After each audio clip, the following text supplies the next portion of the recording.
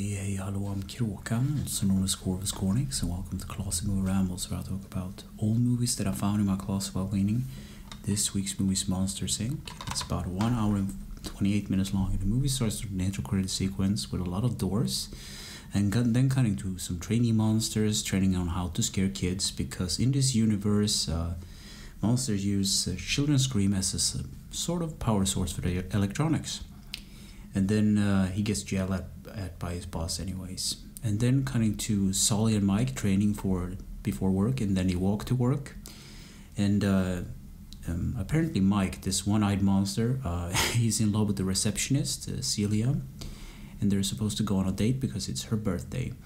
And then cutting to uh, well Randall one of the bad guys harassing Mike just because he, he can't do it. And then Sulley and Mike heads for work. They are basically a team and they try to scare kids to earn their salary and power the monster city with electricity. Uh, and then some time later, Mike goes on a date with uh, Cecilia, the receptionist, and um, Sulley stands behind to take care of some of Mike's paperwork. But he finds an abandoned door and he steps on through it, and a kid managed to follow him out because, of course, and then uh, Sulley is supposed to keep an eye on the kid, try to get it back, but everything backfires and they end up at the same restaurant where Mike is supposed to have a date, and everything goes south from there. So while Mike and Sally are taking care of the kid, they figured out that child laughter is more powerful than normal screams for some reason, and it overloads the system, the electric grid system of the Monster City. And the next day, they try to bring this little kid called Boo back to their parents through the door which he obviously came from. So while this is happening, Mike gets yelled at by his girlfriend for ditching her at the uh, at the restaurant, just running away with the kid and Sally. And uh, they lose the kid basically, and Mike gets captured by Randall and is about to be tortured. But Boo and Sally uh, goes after him, then they manage to escape. And Mike and Sally goes to confront their boss and tell him exactly what Randall has been doing. But it turns out that Randall and the boss has been in on it the whole time and they get banished to the Himalayas uh, and they meet up with Bigfoot, I think, uh, which is kind of a funny scene. And Sally and Mike aren't on the best of terms now because they they don't think there's like a way back, but it obviously is because there are kids in the in the Himalaya, Himalayas that will get scared too. So there are like doors between the monster world and theirs. So Sally goes down the mountain on a sled and manages to get back to the Monster Inc.'s headquarters. uh, and he uh, tries to say Boo.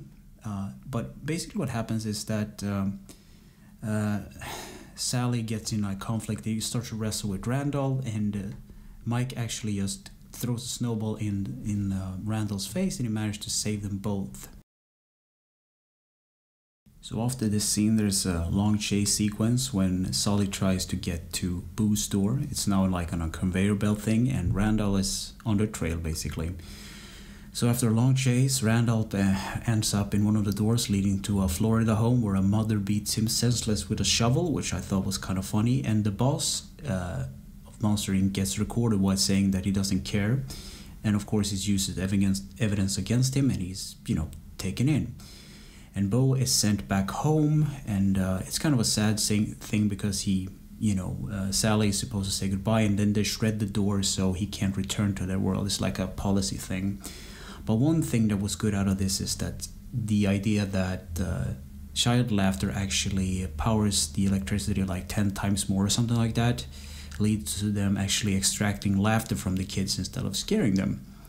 So Mike, being the nice guy that he is, and now that they're friends again, he managed to report, repair the door, and uh, so Sally can once again see uh, his, you know, little girl Boo, and that's kind of a nice way to end the movie, I think. So, what do I think about this movie? It's a fun movie, but a bit childish. Uh, it's one of the later Pixar movies, I believe, and it's actually good. I think it. I think so. I think my uh, younger uh, brothers and sisters' kid would enjoy this movie pretty much. So, so anyway, thanks for listening and or watching, and take care.